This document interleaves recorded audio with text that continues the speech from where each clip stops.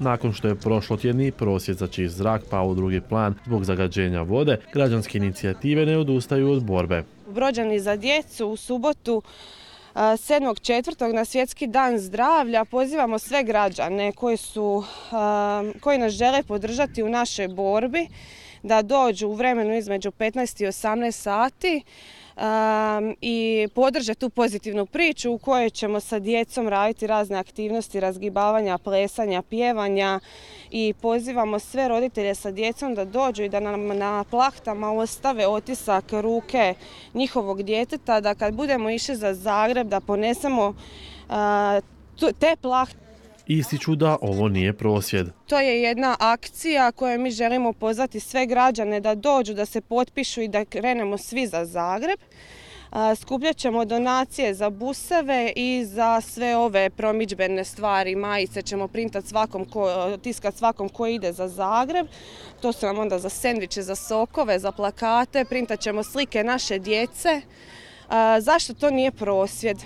Nema transparenata i pozivam sve da, da ne nose zviždaljke, da vode brigu o našoj djeci tamo. Mi smo sami transparenti. I zadnjih dana zagađenje zraka se itekako osjeti, kažu predstavnici inicijativa. Zato smo tu, zato radimo sve ovo, za, za, zato što se devet godina, nakon devet godina još uvijek nije ništa dogodilo. Uh, mi smo postavili nekakve zahtjeve, ti zahtjevi nisu ispoštivani. Uh, nama ne preostaje ništa drugo nego krenuti za Zagreb i evo, ovo je svrha toga uh, da, da, se, da nastavimo dalje svoju borbu.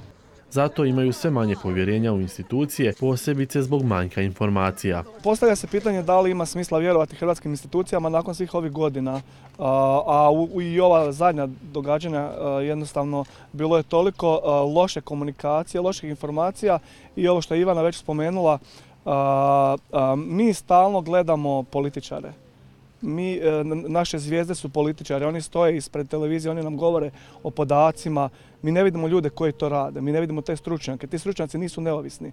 Mi ne vjerujemo da su ti stručnjaci neovisni. Mi ne znamo građani kome da vjerujemo, a mi plaćamo znači sve, sve te ljude da obavljaju svoj posao. Zašto dobivamo i kome da vjerujemo i ko su stručnjaci u Hrvatskoj, mene to zanima. Mene kao mamu zanima kojem stručnjaku da ja vjerujem, koji neovisni stručnjak će nama išta reći, tko će istupiti iza svoje titule i reći nam šta se događa s nama u brodu. Program na Korzu počinje sutra u 15 sati uz brojne aktivnosti za najmlađe članove našeg društva koji ne znaju kako je disati čist zrak u Slavonskom brodu.